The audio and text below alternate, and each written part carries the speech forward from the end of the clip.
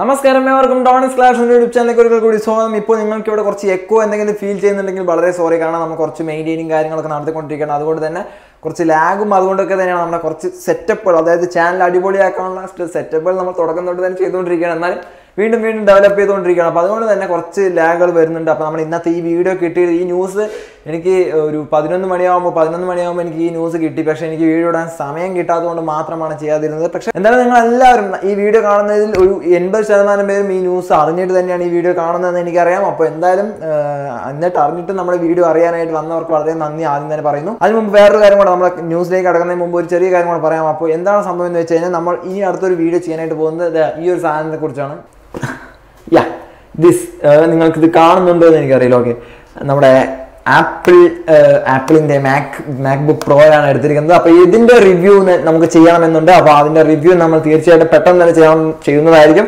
ഒരുപാട് പേര് ചോദിച്ചു അപ്പോൾ എന്തായാലും ഇതിന്റെ റിവ്യൂ ഉണ്ടാവും. നമുക്ക് വേഗം വീഡിയോയിലേക്ക് കിടക്കാം. കേരള ബ്ലാസ്റ്റേഴ്സ് പുതിയ ഒരു മലയാളി താരം അതായത് ഒരു ഇന്ത്യൻ താരത്തിനാണ് റെക്കോർഡ് ചെയ്യുന്നത് പക്ഷേ ഇദ്ദേഹം യു എ ആണ്. അദ്ദേഹത്തിന്റെ പേര് സയ്യിദ് ബിൻ വലീദ്. അദ്ദേഹം എന്ന് പറയുന്ന കാര്യമില്ല. കാരണം പറഞ്ഞ പതിനേഴ് വയസ്സാണ് അദ്ദേഹത്തിന്റെ പ്രായം എന്നാണ് പറയുന്നത്. എന്തായാലും അദ്ദേഹം കേരള ബ്ലാസ്റ്റേഴ്സിലേക്ക് പുതിയ താരമായിട്ട് റെക്കോർഡ് ചെയ്യുന്നു ഇത്രയും ചെറിയ പ്രായത്തിൽ തന്നെ കേരള ബ്ലാസ്റ്റേഴ്സ് എന്ന് പറയുന്ന ക്ലബിലേക്ക് കയറാൻ കയറുന്നത് തന്നെ വളരെ വലിയ കാര്യമാണ്. ഒപ്പം ഒരു മലയാളി കൂടി ആയതുകൊണ്ട് തന്നെ നല്ല രീതിയിലൊരു അഡ്വാന്റേജ് ഉണ്ട്. പക്ഷെ അദ്ദേഹം കോഴിക്കോടാണ് ജനിച്ചതെങ്കിൽ കൂടി മലയാളി ആണെങ്കിൽ കൂടി അദ്ദേഹം ഇപ്പോൾ ജീവിക്കുന്നത് യു എ ഇയിലാണ്. അതായത് ദുബായിലാണ്. പ്രവാസി മലയാളികൾക്ക് വളരെ സുപരിചിതമായിട്ടുള്ള ഒരു താരം തന്നെയാണ് സുപരിചിതമായിട്ടുള്ള ഒരു മുഖം തന്നെയാണ്. അദ്ദേഹം നല്ല രീതിയിൽ പ്രകടനം കാഴ്ചവെക്കുന്ന ഒരു പുള്ളി തന്നെയാണ്.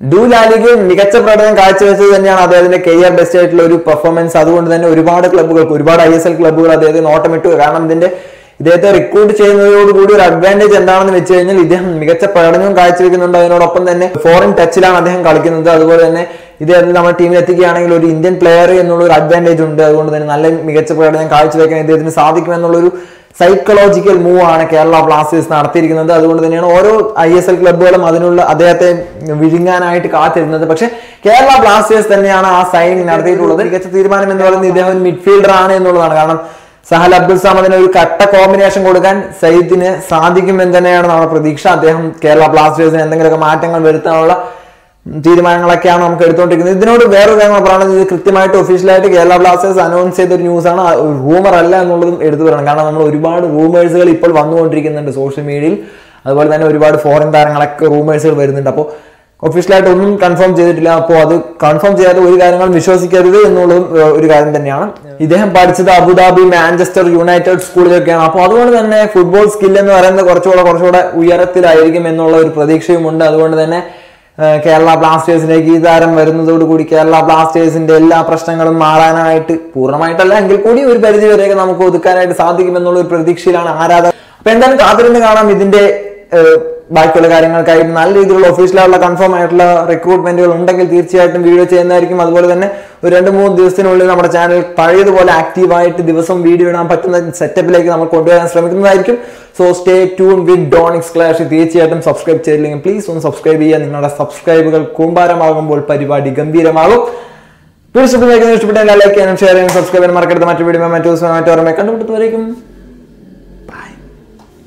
അമ്മ വേഗം കൊണ്ടുവാ വേഗം ഇവിടെ വെക്ക് എന്റെ കയ്യിൽ വെക്ക്.